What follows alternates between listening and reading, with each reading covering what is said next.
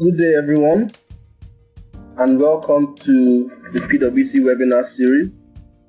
I trust we are keeping well at this time, and we thank you for making that time to attend our webinar today.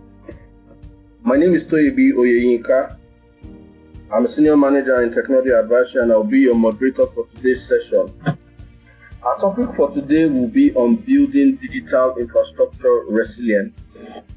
I have some quick things of ground rules, as it were, before we kick off the session. Uh, we would like to let you know that the session is being recorded. This is to ensure that we can make the webinar available to you after the session so that you can go over it and also share with colleagues. Also, as you may have noticed that all uh, attending mics are, are on mute uh, to ensure that we have good listening experience for all our attendees. However, I would like to hear from you. So during the course of the session, uh, we have a question and answer segment where we can take your question. If you look at the bottom right of your screen, you will see the, uh, the chat box, the Q&A. Will put your questions there at any time during the session and then we will take them during the course of the session. From our experience with use of technology, sometimes we might be impacted by the network uh, which is not outside our control, but we put in place measures to ensure that we've also built resilience to ensure that you, you have a pleasant experience during this webinar. We have a lineup of speakers for you today. Uh, we will start with giving you an overview of the impact of COVID-19 uh, on our nation and economy. And then we have two technology subject matter specialists of building infrastructure. Yes. We'll take your questions and also provide you with survey feedback on the questionnaire you fill when you are registering for the session. Uh, so, without further ado, I would like us to start the session. I'll be inviting Angelique, who is our partner, our financial services leader and chief economist of PwC Nigeria. Thank you so much, Toya, for that uh, kind introduction, and thank you to everyone on our webinar today. Uh, I think we have a great lineup on a very important topic. It is uh, just well qualifying work only. I just uh, wanted to say a few words in my role as chief economist of uh, PwC Nigeria. Uh, and I wanted to start by saying I think economists around the world were very slow to pick up on the economic impact of COVID-19 pandemic. We go to late February, for example, and there's still economists saying that instead of the world growing 4%, GDP terms will grow maybe 2%, or some pessimists saying 1%. Uh, we had a prominent economist in South Africa later mid-March saying that the worst case for South Africa was that its worst case in 2020 was a decline of minus 1 we're already in the COVID-19 crisis. I think now we all recognize that this the economic impact of COVID-19 is the greatest economic challenge we'll ever face in our lifetime. Just some statistics I'm sure you've seen many of them in this context. The United States lived the 17 million job losses in the last three weeks. UK they're predicting minus 35% GDP at minus 35 in the second quarter 2020. The lockdown continues. In Australia, who's never had a recession in 30 years, they're predicting a 10% decline in GDP in the uh, first half of 2020. And of course, yesterday we had the extraordinary spectacle of the oil price going Sure you the headlines in the United States. Essentially, as people have nowhere put the excess oil.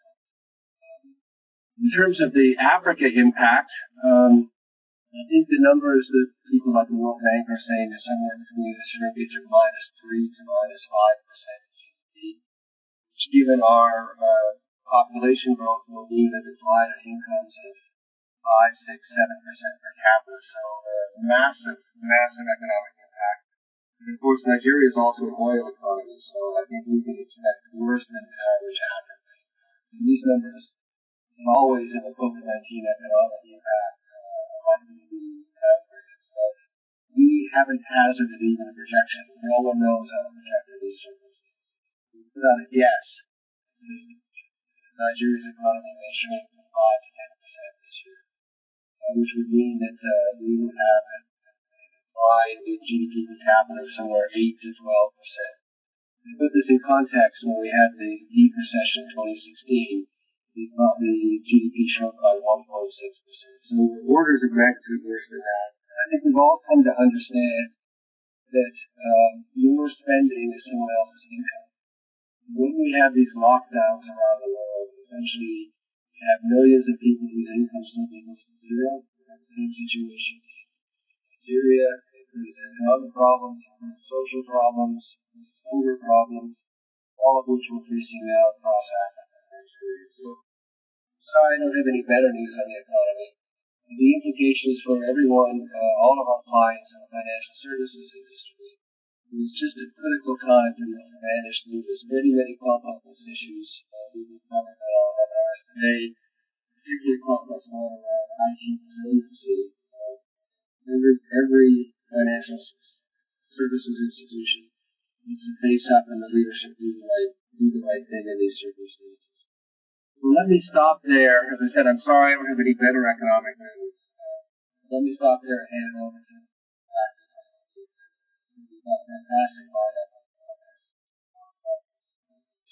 Thank you.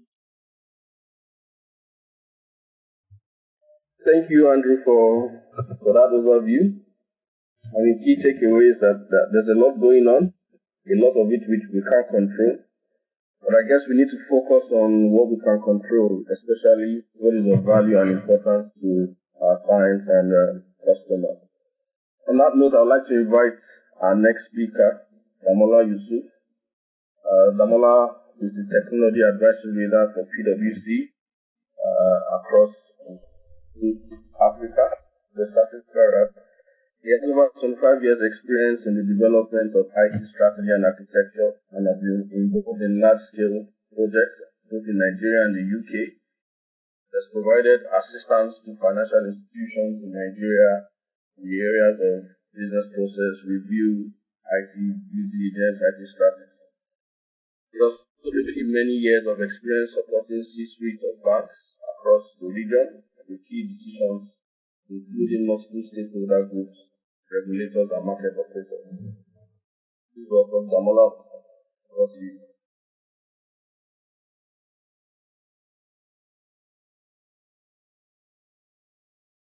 Uh, thank you, Toby, for that um, long introduction. Uh, good afternoon, everyone, and uh, welcome to this uh, webinar series. Um, I hope you are all well and keeping safe. So my uh, session, they will cover a high-level overview of the key challenges technology and uh, I will also share some brief highlights on uh, what we find um, the, the responsibility that we are seeing in some other uh, territories.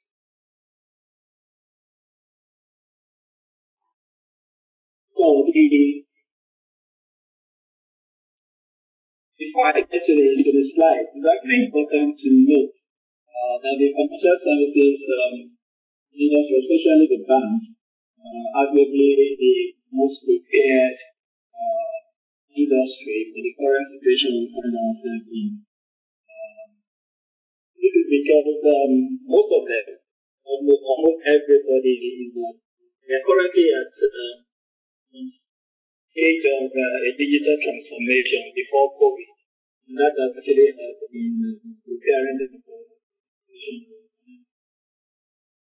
like I have a, a personal example. Uh, as far as the lockdown is concerned, I've not seen any difference in um, the way I interact with my bank from lockdown up until now. Looking at the, the, in the week. Currently, been practicing some of the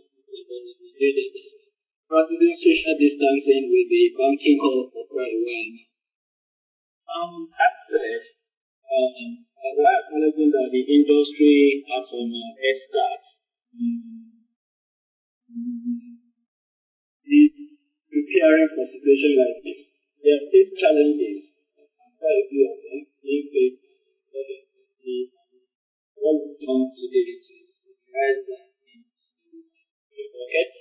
So I'll, I'll give a, um, a brief uh, overview of this bucket and then later in the session we'll go into details of what uh, we think the tech uh, should be doing to ensure that we have a very resilient infrastructure that will support the organization. So the fourth uh, challenge we're highlighting is uh, around flexible and movement capabilities. Uh, I'm sure everybody will agree with me that this has um, been challenging to so many organizations, and especially for technology people. The organization is looking up to you to provide uh, flexible and remote working capabilities to the rest of the staff. Uh, you need to give them the right tools to work and so how do you ensure that the staff that need to keep working have the right tools? So this is a key consideration and we'll be going into a lot more detail uh, talk uh, around this thing. The second um, I to uh, the middle and back office. So the, the financial services is uh, we all the customer facing information. There's still a lot, quite a lot to do with the, the back office processes that are still largely manual and require some uh, paper-based approval.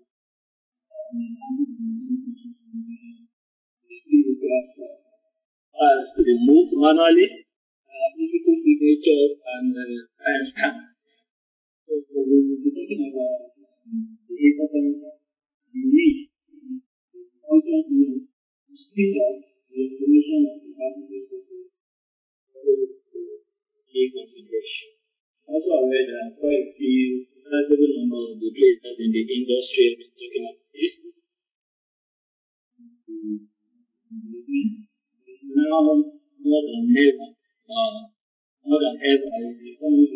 uh.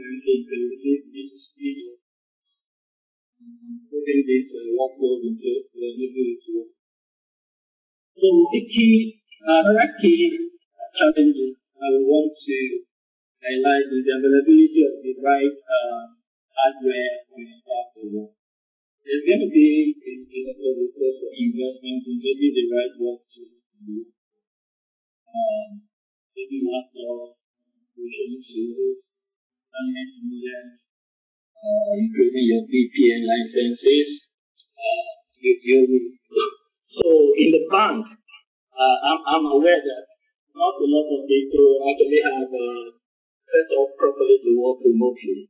Uh, very few people have laptops that they can use to work from away from the offices. I'm also aware that uh, we have a lot of lap, laptops, uh, you know, desktop, sorry, sitting down on people's desks. And when you say I have VPN access to the office, what is referred to as VPN access for most people is the VPN access to that singular uh, desktop that's sitting on your table. So, for example, let, let me give an example. My branch is not is one of the branches that will be closed. I have uh, my laptop in the office. The branch is not powered, and then then my, my desktop is useless to me if I have VPN access. I'm also aware that there are some uh, some of the banks are things actually moving some physical desktops into um, their server server room so that the, the staff that needs to access them can work. That's not a very efficient so you need to be innovative. Uh, giving, providing the, uh, the right uh, tools for people to be able to work seamlessly and function. Uh, the next item on the, the challenges is the, the of security. I know everybody will me. talking about this um. Uh, the right the number of increase. Of others are trying to take advantage of the current situation. Uh, the have to keep cybersecurity as a key contribution. We're talking uh, should and then the last item for was the business continuity plan. So I'm very certain now that the current situation has tested your BCP successfully. So the key question is what are you doing to invite this within the current realities?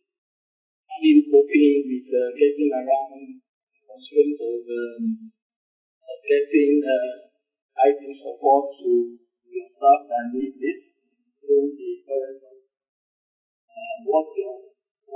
So copy uh, IT services together, how do you get them to continue to provide service to you uh, while you while you uh? So these are the key uh, areas that will be focusing on not today during this uh, session. And then next um, slide is talking about the experiences and then the responses that we got from that from uh, selected territories. If you look at what we have in here, so in the whole SSA, whatever you do, uh, the changes that you need to make, everything, almost everything relies um, largely on the availability of the right systems. So as a CIO, as CTO, you are right at the center of making all these changes. An example, I'll just go through some um, so in uh, in UK,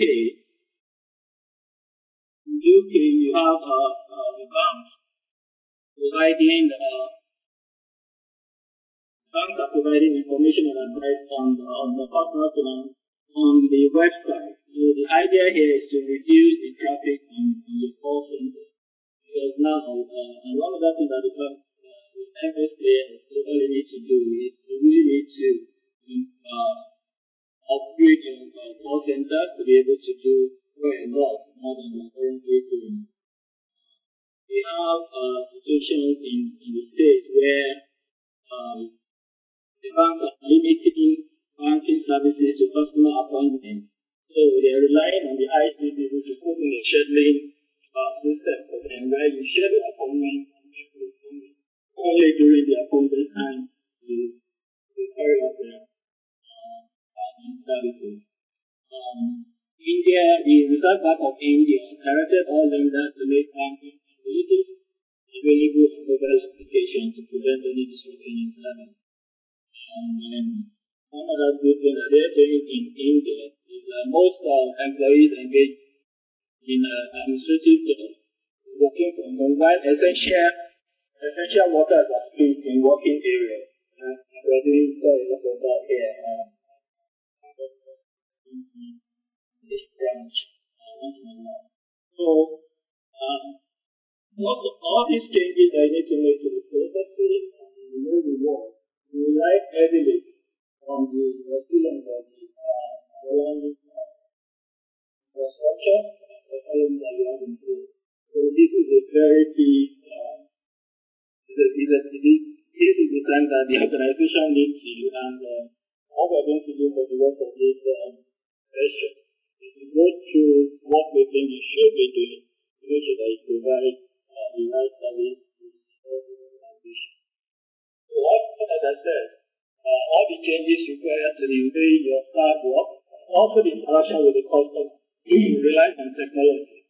And then it's um, for you to make it happen, There is a, somewhere positive note.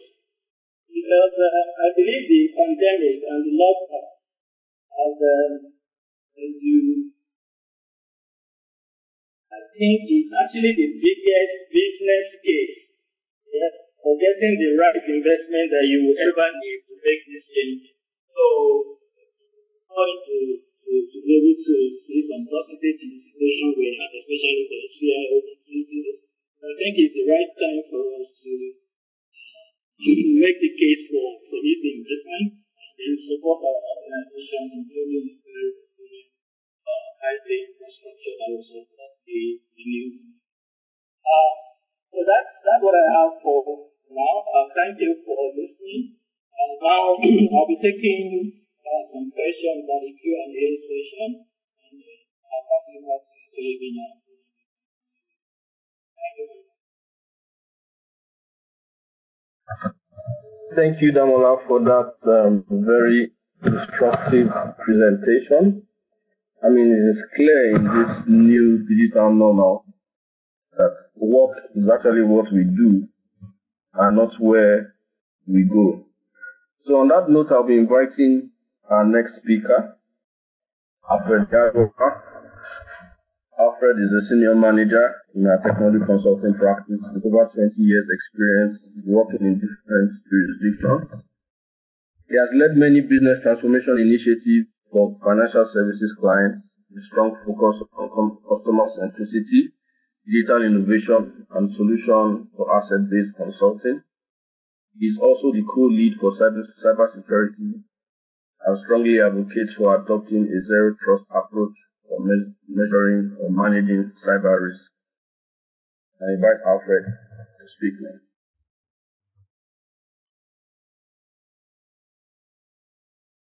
Thank you, Toby, um, for that um, very warm welcome, um, warm introduction. Um, once again, good afternoon, everyone. Uh, thank you for joining um, this webinar series. Um, COVID-19 is also referred to as a novel coronavirus. Uh, it's, a, it's a new strain that humankind has never experienced before. What is not new is that this is a crisis that organizations have to respond to as best as they can, given the restrictions and impacts um, imposed by this pandemic. And in dealing with this crisis, we at PwC believe clients go through three First phase is the pre-COVID or the preparation stage. This is where, as Damola said earlier on, they have developing their BCP plans, preparing for an eventuality, and then it happens. The next stage then is the response stage, where organizations will try and scramble and try to stabilize the organization so they can keep on serving customers have as little impact as possible to the operations. This is also the stage where try to identify the gaps that they have and opportunities. Moves on to the third and final stage, is where they try to start to strategize and ensure that they emerge stronger from a crisis such as that in experience with um, COVID-19.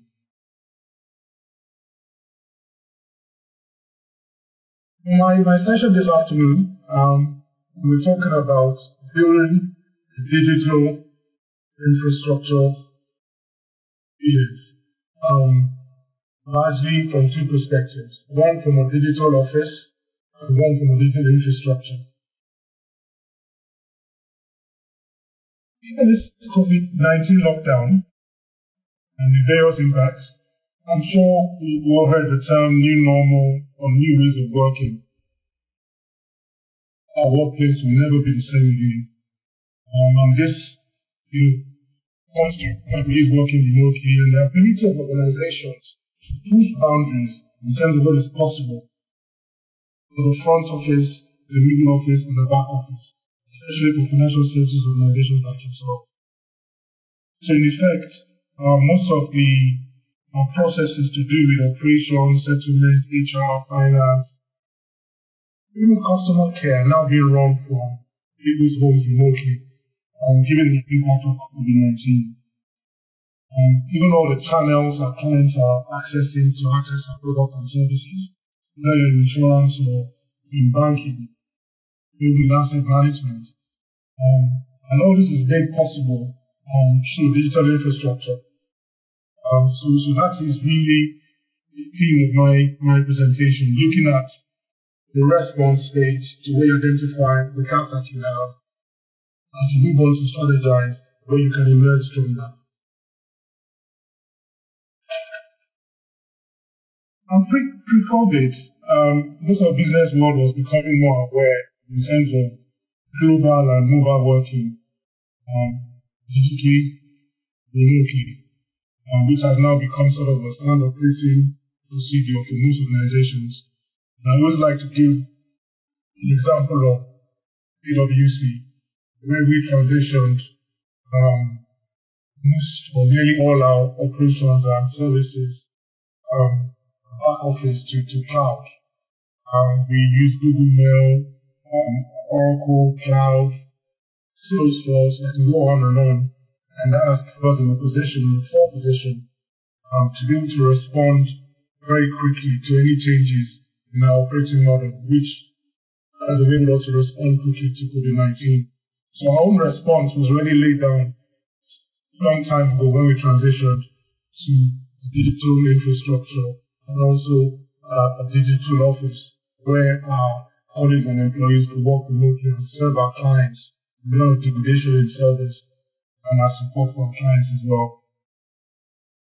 So what we're saying with COVID-19 and post-COVID, um, there's an expediency in terms of organizations um, taking a strategic approach in how they design and organize their workplace, considering all stakeholders um, and employees and how they interact. So from our co-workers to customers to vendors to suppliers to partners and even to friends and family. Because that line between and working and being with your family and being, in touch is somewhat blurred now. The lockdown and all experiencing COVID-19. So the value of having a, a digital office as it were is that you have business agility, you increase your business agility, you increase your productivity, and you also have an IT infrastructure that is flexible and you can easily adapt um, and automate your, your backend processes. So the slide you can see on your screen now um, is all refer to as PwC Digital Office Framework. This somewhat provides guidance on the digital components required for an organization to build a resilient digital office, which I just described earlier. And so it talks about, if you look at the slide, um, about how employees will be enabled to connect to the office the office is seamlessly. Office in this context is virtual. Could be a cloud infrastructure or could be a physical office where you have the data center or an outsourced service basis. So seamless connection that has good performance, little or no lag. Um, but I know given our own local challenges in Nigeria, um, in terms of epileptic power supply or internet, and even in some cases we have colleagues who are restricted by the location and the space they can work from and without being interrupted. Also giving a lot of um, colleagues and clients have families that are also locked, in lockdown with them. So we have children attending school remotely as well. So you put all those that mix together, um, it can become quite challenging in terms of remote working. So we're saying organization that wants to enable a digital office environment for their staff um, should have robust plan for robust VPN infrastructure that has sufficient capacity was able to ramp up um, capacity for additional employees that have to work from home or working from their mobiles remotely. We also see there are many opportunities out there in terms of digital technologies as well that can enable this to happen, um, such as having virtual desktop infrastructure um, where employees, like Damola said in his, um, presentation about the challenges of some of our institutions in financial services, where some employees' desktops have to be taken to whether um, a call center or server room for the employee to, connect and support um, the bank's clients. So VDI might be an opportunity to virtual desktop infrastructure um, to be able to, to, to scale that hurdle. And also collaboration in real time as well with colleagues. You get to collaborate with your colleagues remotely, whether your mobile or through your devices, your PC, your smartphones. We're also seeing that collaboration tools like email, real-time video conferencing, um, whether it's Zoom or WebEx or, or Google Chat. And then we're also talking about having ECM platforms enterprise content management platforms where real-time document sharing and collaboration. So SharePoint, productivity management suites as well. I'm also saying that employees should be able to connect to business applications, whether in native mode. I gave an example of PwC where we have a ERP in the cloud, Oracle, Oracle Cloud as an example. There are other vendors that provide similar services. Salesforce again is in the cloud, which use for managing our sales, our customer um, information. Um, and then you have banking as well now in some instances. I know that financial services institutions, um, no one in particular, they have all their back-end, front, middle, and back-end processes being run and remotely. Um, a lot of FS clients are doing that, whether in insurance or banking at the moment, where that is possible. Um, but the challenge has always been the seamless, um, straight-through processing, automated processes. And to an extent, most of those processes are automated, um, but not fully. So you have some manual, some automated um, processes in between. And then business apps can also be provided on the employees' mobile phones as well.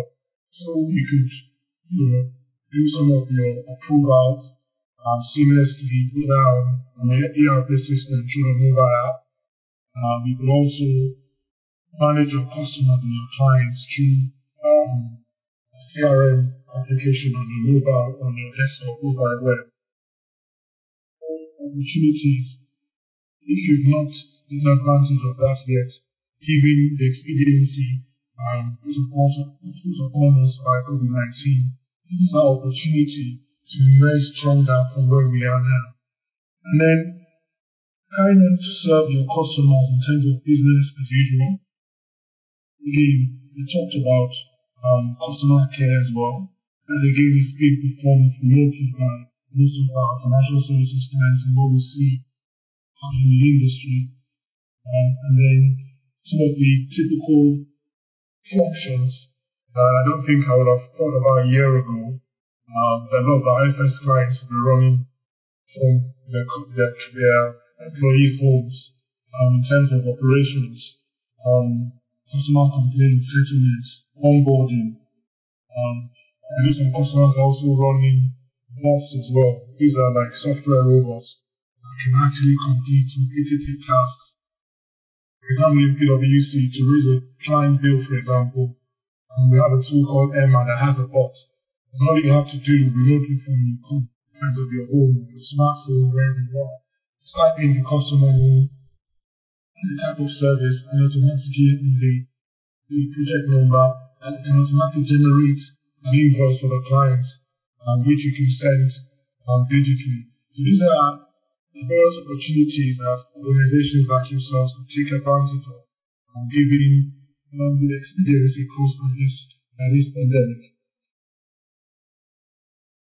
So that is just talking about the digital office. Um, and then lastly, around this, this section of um, all is governed by digital security. Everything I talked about is digital. When you're going digital, inherently there's a risk because you're talking about data. Data is what typically is the, the fulcrum of digital. And given that a lot of organizations are now onboarding their colleagues to be working remotely as a new normal, this also increases the, the attack surface for would-be cyber criminals.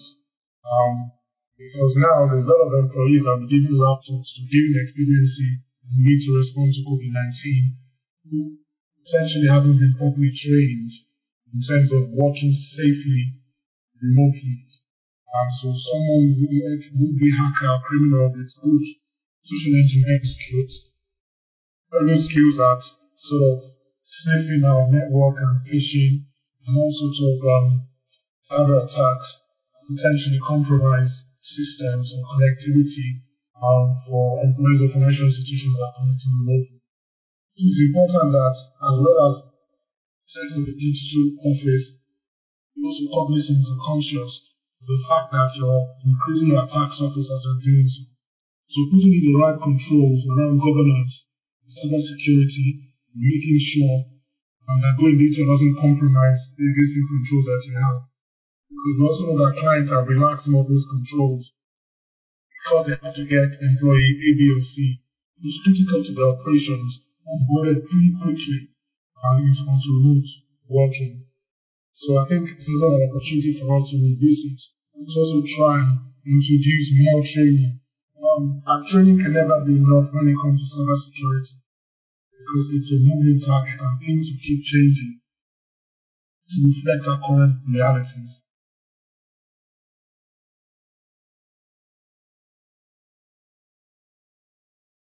The next, next slide um, talks about um, building a resilient digital infrastructure. As you office in the previous slide.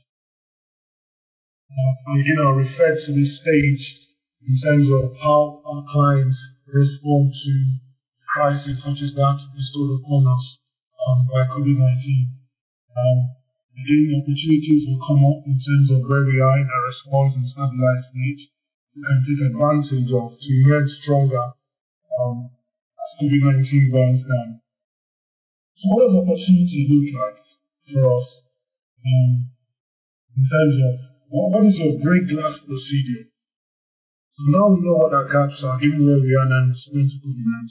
So what can we do better to emerge stronger? So if anything similar to this comes up again in the future, hopefully not, um, then have an opportunity to respond. So the first item on this slide is the business continuity plan. Which can now also refer to in his, in his own um, presentation. I know many organizations have financial services, given the amount of regulation coming in from um, CBN and SEC and um, NCOM and NAICOM in terms of the controls and what you have to comply with. Um, most organizations have a BCP plan. Um, but what we also know is a lot of them end up in a common or as a soft copy. This is meant to be living documents and will reflect your reality, your current reality, as you transform your business. So in terms of even your BCP contacts and BCP champions, um, your processes, how you've upgraded your IT systems, the new vendor you've onboarded, whatever risk the third party vendor has is also or will come to bear on your infrastructure. So managing your third party risk is also equally important. Um, this is important for us um, to be to be to recognize, to understand what what we're going through. The thing around any new regulation as well, we need to also include my BCP plan. So essentially what I'm saying here is you need to keep your BCP plan up to date. So when it comes to responding to crisis, it's a lot easier because it's a living document and you've done sufficient tests. Because also you're as good as your last BCP test or simulation to be able to cope with an impending crisis such as COVID-19. And I can also remember that after September 11, we World Trade Center attacks, um, I enabled or ignited how organizations looked at um, BCP. A lot of organizations were at the drawing board to try and revise and update a BCP plan. Um, but as things have panned out um, that are still not taking a good foothold in a lot of organizations. The second one points around building a digital infrastructure is also your digital mobile strategy. From our research, we found that a lot of organizations pre-COVID-19 were in the process of developing their digital strategy and mobility strategy for the process of implementing their strategy. Um, some of them have not completed that exercise yet. This also presents an opportunity for organizations to revise and review this situation, trying to leverage the digital opportunity that this phase that we're in provides, and also look at opportunities to develop their capacity and capability providing a digital infrastructure and also looking at the mobile workforce strategy. What are your key operational apps that you have? Your CRM, your core banking, or even your your, your ERP, can you provide um, those apps to your key workers that need to work remotely? This is about mobility as well. It's not just about working remotely. It's about mobility. So as they move about doing your business, they can also access um, the applications that are important for you to continue to serve your customer. The next one is around network planning and optimization. Um, the network, as we know, um, is a critical backbone to hosting um, digital infrastructure for digital workers. Given the new normal, um, it's also an opportunity for us to look towards building network capacity to support our remote workforce and remote management, either by implementing leading and emerging digital technology around network management, for example, um, digital network architecture, which enables you to manage your, your digital network um, from the cloud. So your, all your Cisco routers and your network devices, an example, can be managed through software. And having your back office staff uh, being in the office or being physically present to manage that infrastructure, it can be done remotely. And also looking to optimize your network capacity as well um, in terms of your VPN, ensuring that you have a robust back end in your data center. The service provider and provide um, a combination of video, uh, data, and bandwidth that can um, have enough robustness to, to sort of host your uh, the need of your digital workforce. This last slide talks about other two top considerations. Cloud strategy. You know, I'll be surprised if any um, C-suite on this webinar or um, IT decision makers in this webinar um, you know, haven't in recent times considered uh, cloud first strategy, given the constraints um, in um, highly regulated industry um, as we know from my experience, um, uh, the regulators, um, you know, are, are, not too favorable in terms of um, where transactional data from the various organizations um, are kept. So uh, there's a limitation in terms of keeping traditional transactional data or customer data, as it were, given the new uh, NDPR regulations in a foreign jurisdiction is not domiciled data data center is not domiciled uh, in Nigeria. But also will give an opportunity to consider um, how um, financial services industry could be enabled by putting appropriate guidelines and control in place that enable financial services institutions to adopt a lot more cloud services to enable them fully digital and build a resilient digital infrastructure one that will provide advantages such as scalability, um, agility, and then to respond in terms of, in terms of how to have a cloud first strategy. And in doing all of this, um, the other big task of maintaining a digital infrastructure is around digital security which I mentioned in my previous summation. Um, because what digital infrastructure does it gives you convergence of cloud computing, mobile computing, and social media. And this has created real problems in terms of maintaining data security at every point for every company. Um, so it's important that as part of us emerging stronger, we also conduct a careful assessment of the state of our office digital technology. I also find opportunity many digital strategies have developed pre-COVID.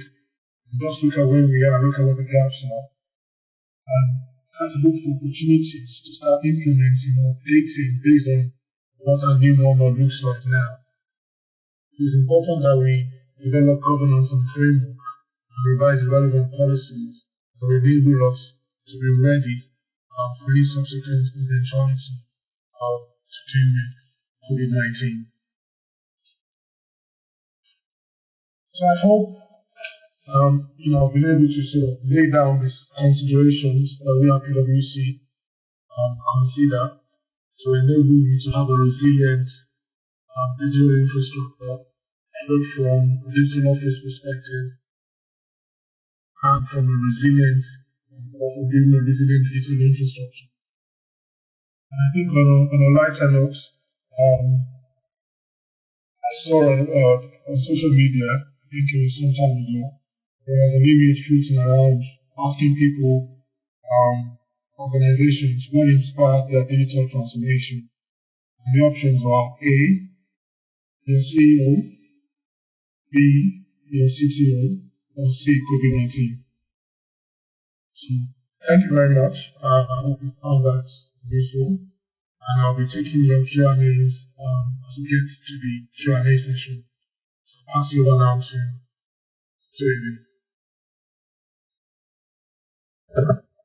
Thank you, Alfred, for those, those deep insights. I mean, what stuck for me is what we often tend to ignore, is that the business continuity plan is a living document. And as we begin to introduce new technology that change how we operate and how our business model uh, is structured, we always need to revisit it that we are not impacted by the new risks that we might not have considered. So thank you very much for that. Uh, so we are now in the question and answer segment. Like we mentioned at the start of the webinar, we would like to hear from you. Um, so please use the question and answer chat box at the bottom right of your screen. Like Alfred mentioned, I mean, as we would imagine, we has done an assessment of our various digital strategies, and we are clearly seeing those gaps. So I reckon a number of us will have questions on probably how to, to address it to begin to adapt to the new normal. I have a question here um, already. I'll be directing that to Alfred. It says, what are the top uh, um, pain points that your clients have been most bothered about during this pandemic?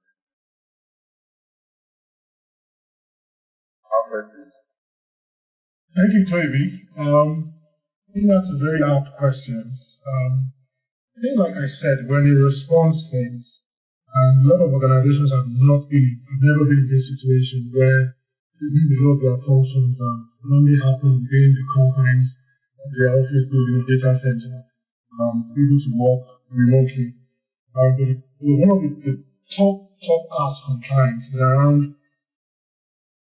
maintaining productivity. You how do you maintain how do you measure, maintain, and increase productivity when people are working from home? You know, how, how, how, how do you get the better visibility of performance data? Because for a lot of us, even at PwC, the FSI industry, um, where we have a lot of KPIs that cut across not just output, but in terms of how uh, colleagues interact and collaborate that's how they measure. There's so many KPIs that need to be measured.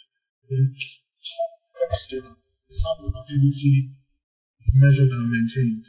Even a lot of our colleagues are working remotely from home. So that's, that's a big one. And also around maintaining motivation and engagement. How do you motivate colleagues that not be work up to this extent that they have? Four weeks at home working remotely, have the kids in the background. You have to maintain a home and also work from home. How do you have to keep motivating people? How do you get them constantly engaged? In terms of technology, um, lot of it has been around reducing cloud strategies and digital strategies. Um, so, so that is where we've seen the, the, the, the, large upsurge in terms of questions and requests for services. Yeah, thank you, Alfred. Uh, next question will be for, for Damola. Um, the question is,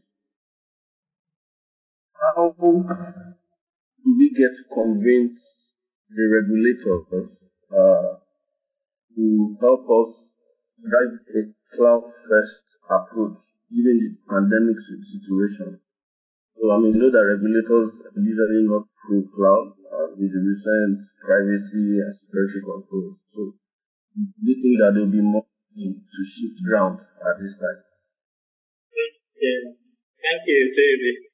Um, as I said earlier in my presentation, you know, this situation providing I, I, I can see uh, some positives coming out of this providing the biggest business case for cloud and digital cluster strategy.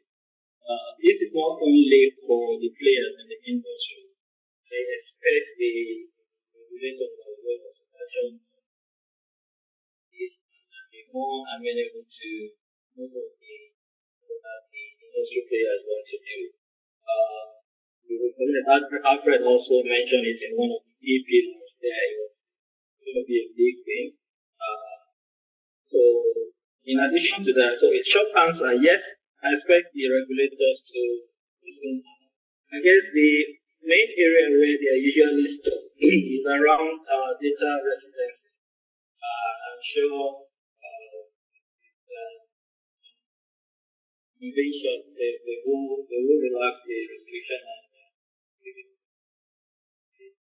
so importantly for me, what I also expect is the increase of local players providing quality service in this area. You know, you know, to rival Google, uh, AWS, and, and the like. So I expect to, to see um, leadership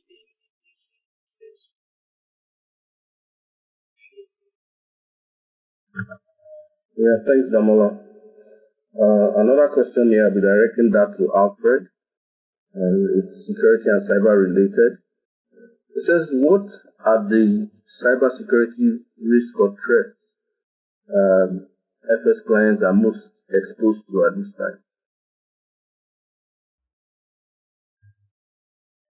And the same way COVID 19 has created opportunities for some nice sectors, such as video conference providers, uh, medical equipment providers. Also, also provided opportunities for some unsavory industries like that of cyber criminals. So critical working has increased the attack surface, like I said in my presentation. Many more people are not trained and not aware of how to work safely um, from home remotely. Um, have been forced with um, laptops and gadgets that um, they're not really accustomed to in their day-to-day working. So this has really sort of ramped up, and we've seen um, from, from PwC um, command centers in terms of the rise in, um, in reported spike, or rise of reported spike in cybersecurity incidents. So spear phishing, mouse ransomware, using COVID-19 to, to impersonate brands, known brands, um, because now you can have can appreciate a lot of uh, finance processes are also being automated and being approved. Vendor payments are being done from comfort of people's homes. People who are not used to remote working, being given responsibilities um, of being able to safely work from home. Um, and what is what is also gone up for as reason as well is the business email compromise, which is a known um, corporate um, cybersecurity risk. Um, scams are also on the rise in terms of um, the sort of um, criminals that we've seen that you know stealing and attacking homes, and stealing mobile phones and using um, normal hash hash hash for doing USSD transactions. Uh, again, that's been on the rise. So there's a lot of um, increase and spike in, cyber crimes, um, given the, the increase in the, in the attack surface, um, the number of people that are now working remotely. So this is also giving organizations an opportunity to also test more their controls and governance around cybersecurity. Um, it also gives you an opportunity to expedite some of your projects that you know packed previously. Um, knowing that um, your there's, a, there's, a, there's an increase, there's, a, there's an increase in the risk to the organization um, to, to be compromised.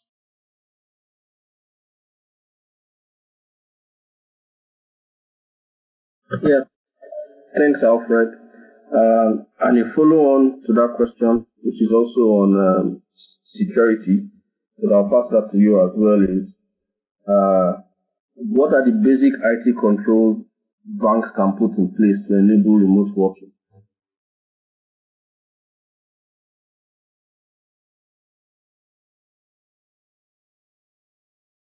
Um, so, so, so, I mean, training, conducting an awareness campaign and constantly training your staff, um, because humans are always the greatest link. You can get processes and technology right, um, but humans have been found to be researchers to be the weakest link.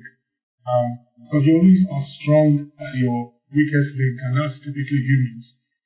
So I was opportune to attend um, a cyber resilience um, conference, which Central Bank of Nigeria and JP Morgan, one of the leading investment banks globally, um, I think it hosted sometime last year.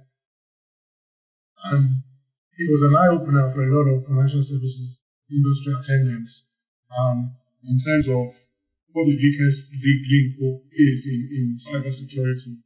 And even JP Morgan sort of told the audience that they sent test emails from time to time to test whether people will open up attachments in an email that had um, subject matter that was close to their heart or to the organization.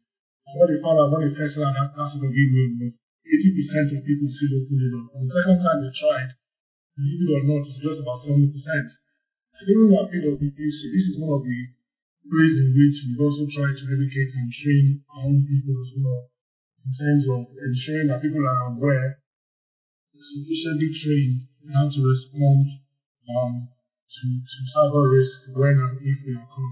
Um, another measure that could be also implemented um, would be for banks to introduce bring your own device policies.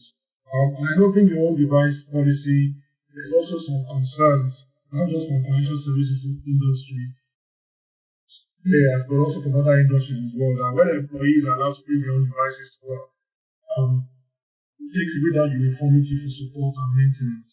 And the cost of support can actually go higher than it is now when you have uniform devices provided by, by the employers. What we also seen happen is where organizations combine bring your own device with technologies such as virtual desktop infrastructure. What that essentially is is employees' desktop or application that they typically use in the office is built and then put in a cloud and that can be pulled down from any device that the employee has, even their own personal devices. So there is a secure connection between the employee's personal device and the image of the application that they use to work So bank A or bank B or insurance company A or B through a secure connection and also for mobile devices for banks also implement what is called MDM, which is a mobile device management platform to ensure all devices connected to the bank resources are protected with latest control and compliance platforms. Um, so, so these are just a few examples of how um, banks will secure, securely enable employees to work remotely while, while not compromising um, the bank's operations or their, of your investment. Thanks, Alfred. Um, next question I'll direct to Damola. For companies where their core applications are resident in-house, how do you think the business can go on in this pandemic?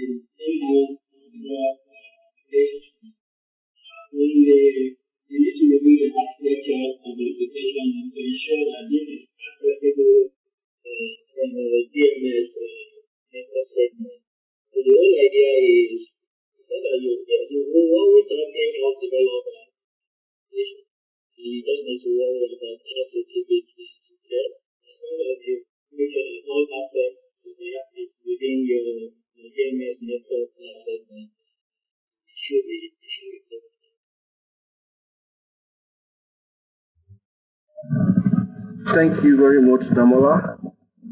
And um, without any more questions, this brings us to the end of our question and answer segment. Next on the agenda, um, we will be reviewing the survey responses, um, feedback provided while we were registering for this webinar. And to drive that session, we will be Doyin Amusu. Doyin is um, an associate director in our, in our operations consulting unit.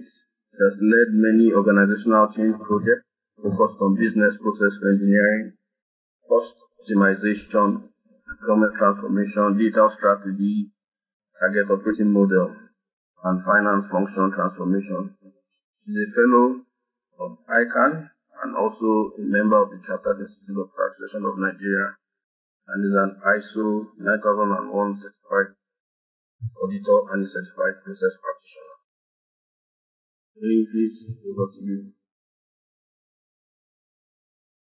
Thanks, Toye, for that warm introduction. Good afternoon, all. I will be presenting the highlights of the COVID-19 survey for CIOs, CTOs, and Chief Data Officers. The survey was completed by survey executives across the financial services industry, and respondents cut across banking, insurance, asset management, and the pension sectors of the industry. Now going on, going into the body of the survey proper, about 36% of respondents estimate that the impact of the pandemic will last for 6 to 12 months. 28% of survey respondents of the view that the impact will last for three to six months, and 19% estimate the impact will linger beyond one year. Most respondents are concerned about the negative impact of the pandemic on the organization's revenue and profitability. About 41% of the respondents believe that it is difficult to predict the impact of the pandemic at this stage, while 57% are of the view that it will negatively impact their performance. Now, in terms of the key issues that respondents believe they are facing now and will face as they go forward, the number one area of concern for technology executives is the likelihood of a global recession. Other concerns they have include cybersecurity at 49% and market volatility at 58%. The responses of the technology executives in this area aligns with the key concerns of chief risk officers in a similar survey. Now, moving on to how long it will take for the organizations to return to full operations. 47% of technology executives estimate that their organizations will return to full operations within a month, while about 24% estimate that the, the post-pandemic recovery will be within three months. In essence, 71% of technology executives are confident that the organizations will make a full recovery within three months. On reflection, the outlook of a quick return to business as usual really doesn't seem to be aligned with the view of 64% of respondents that believe that the impact will linger for 3 to 12 months in addition to the concerns with respect to the likelihood of a global recession. In terms of investment decisions, 5% of respondents plan to delay any investment decisions. A third of respondents actually plan to invest more, while 19% would invest less. An equal number of technology executives, that's about 7%, indicate that their organizations will either exit investments or maintain status, status quo. I'll call on Toyebi now to please close the session. Thank you very much. Thank you very much, Doyin. And with that, we have come to the end of today's session. We'd like to appreciate you for your time. Uh, we hope you found the discussions instructive. Uh, we want to keep the engagement ongoing, so please feel free to reach out to us if you have additional questions. Uh, we noticed that some questions came after uh, we closed the question and answer session, but you can reach out to us. We are more than happy to provide responses to you. Uh, uh, we have uh, on our PwC website additional talks and publications on COVID-19. These are really results of those publications. And uh, do stay safe and keep well during this period. Thank you for attending.